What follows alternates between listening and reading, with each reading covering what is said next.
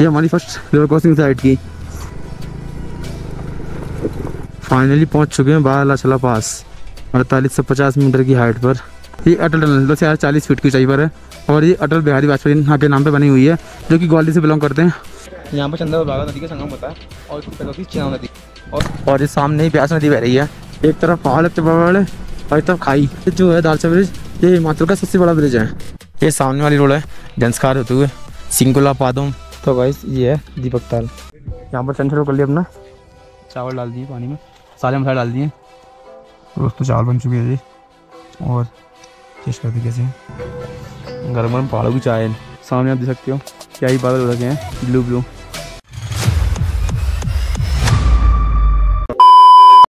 अभी हम हैं सरचू में जैसे आपने लास्ट वीडियो देखा होगा हम आए थे मनाली से सरचू जो कि काफ़ी खतरनाक रास्ता था। खतरनाक तो नहीं जो कि हमारी कम सी बाइक है इसलिए दिक्कत हुई, बाकी कोई दिक्कत नहीं है।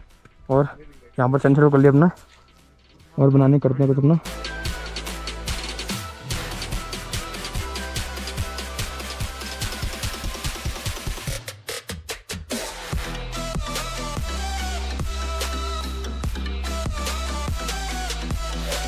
तो दोस्तों, हमने टेंट पैक कर दिया है पूरा, इससे बंद नहीं आए और स्टोव के लिए हमने पत्ते ले लिया है एक। जिससे जो तिरपाल है वो खरा- खराब नहीं हो जल्दी से इस चक्कर में। इस पर स्टोव रखेंगे। इस पर बनाने दिक्कत नहीं आएगी इससे। और हमारे पास जो सिलेंडर थे ऑलरेडी पुराने वाले पहले उनको खत्म करते हैं। नए वाले निकाले नहीं अभी हमने। पहले इनको खत्म करेंगे। चलिए चला खबर तो दोस्तों स्टार्टिंग कर दी हमने। और जो पत्ता लेके आया बड़ा छोटा पत्ता था वो। दिक्कत आई थी उस पर और आराम से बनाते हैं। जिससे एक टेंट भी गर्म हो जाएगा। ठंडी लगेगी इसमें भी। तो पहले सरसों तेल डालते हैं इसमें ये चावल है, जो हम घर से लेके आते हैं। और ये गर्म मसाला, लाल मिर्च और नमक और तेल इसी जैसे की और जीरा भी लेके आए साथ में। टेंट खोल दिया हमने, क्योंकि इसकी जो दस्ती वो हमारी आँखों में लग थी और दिक्कत आई थी हमको। हवा आ रही है कोई बात नहीं, बंद कर देंगे बाद में।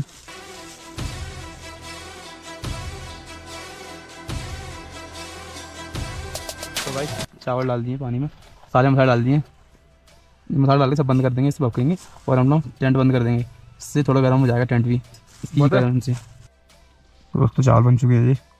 और टेस्ट करते कैसे हैं। एडजस्ट है जी राइस मज़ा आ गया। तो दोस्तों ये चाय आ चुकी है हमारी पी सकते हो आप। गर्म गर्म पहाड़ों की चाय है। दोस्तों ये है यहाँ का मॉर्निंग का व्यू सामने आप देख सकते हो, क्या ही बादल हो रखे हैं ब्लू ब्लू काफ़ी अच्छा व्यू है। ज़्यादा पहाड़ी पहाड़। काफ़ी सारे टेंट लगे हुए यहाँ पर।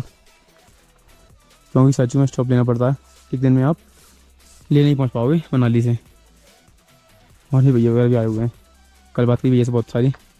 उन्होंने बोला सुबह, इतनी जल्दी निकल जाओ, वरना प्रॉब्लम होगी तो पहुँचने में, ले नहीं पहुँच पाओगे। ढाई किलोमीटर रह गया है यहाँ से।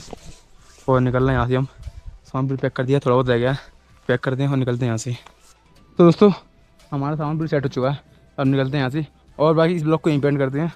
आपको ब्लॉग कैसा कमेंट होता है और वीडियो लाइक करें। और चैनल को सब्सक्राइब कर सकते हो। तो चलिए, तब तक के लिए बाय बाय